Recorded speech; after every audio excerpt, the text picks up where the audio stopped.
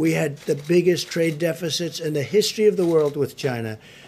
Now China's going to spend a lot, has agreed to spend 250 billion, many billions of dollars in our country, much of it going to farmers and manufacturers.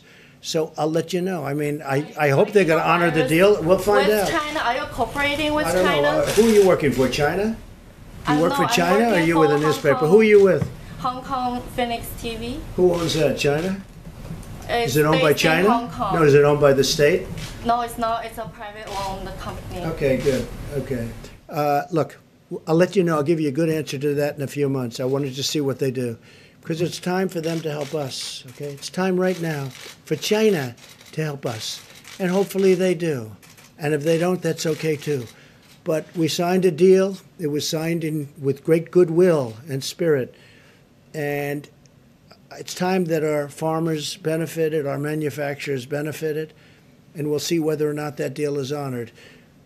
And I think it will be because I know President Xi, who I like and respect, and I think he will honor the deal he made with us.